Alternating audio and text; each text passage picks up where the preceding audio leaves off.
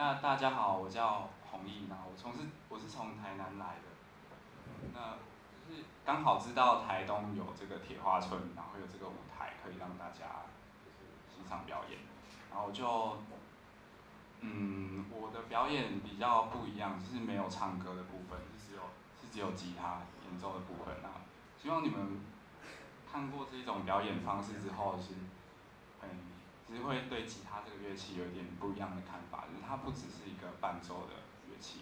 它也可以当音乐的主角。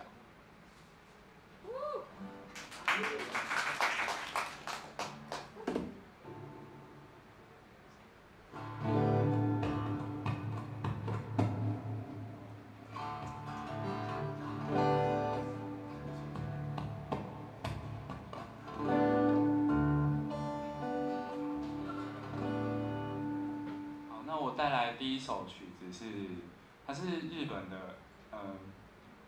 新垣结衣主演的电影叫《花水木》，不知道有没有人听听嗯看过，有吗？没有，都都没人看过。但是是他的电影的同名主题曲，它是叫《花水木》。那它是其实是原本嗯，它是先有这首曲子，然后根据曲子的内容去改编拍成这部电影。然后电影主要是在叙述。不求回报的爱，对，那带来这首《花水木》。